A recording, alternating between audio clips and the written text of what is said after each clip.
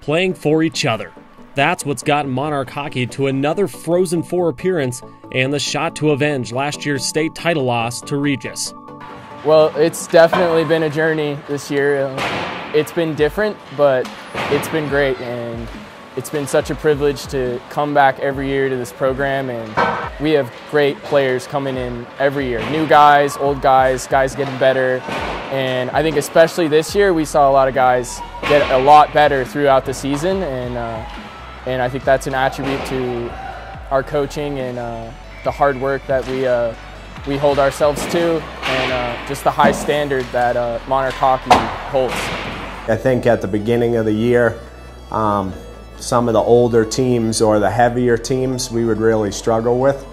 Um, but these guys have mentally and physically come so far, um, and now I think we haven't lost since like February 3rd, so, and we had a couple big wins in there.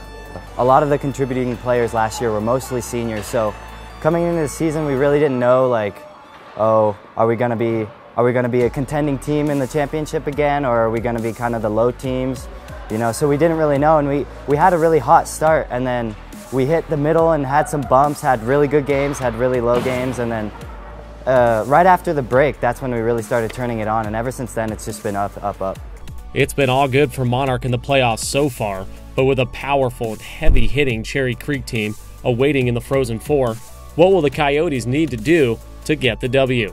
It's do or die. So, um, you know, you win, you move on, you lose, your season's over. And for me, that's that would be my last game, but uh, it's not going to end there. And uh, I know I'll be playing for each and one of my uh, teammates, and I know they'll be out, out there playing for me. And it's really going to take that. We got to come together as a team and uh, really gel and work really hard to beat them. After last year's state title game loss, this team is fired up. And if it happens to work out, they would love another crack at the boys from Regis.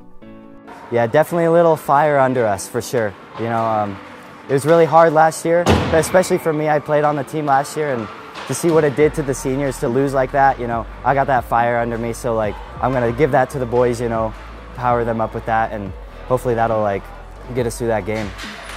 We're right where we want to be, um, and we're going to give it our all this weekend. It's going to be one action packed Frozen Four. Good luck to Monarch as they attempt to finally get over the hump and hoist the state title trophy. For Colorado Prep Spotlight, I'm Phil Santucci.